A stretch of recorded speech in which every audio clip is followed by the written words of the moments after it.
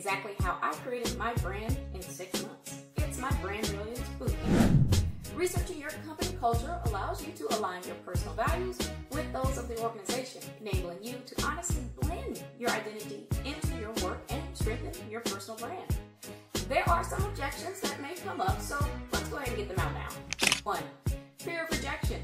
Some individuals may hesitate to research company culture out of fear that it may not align with their personal values, leading to potential or conflict. Or two, of difficulty. Researching company culture may be seen as time consuming or challenging, holding individuals back from putting in the effort required to gain insights into the organization's values and practices. But by overcoming these hesitations and thoroughly researching your company culture, you can ensure that your workplace environment aligns with your personal values.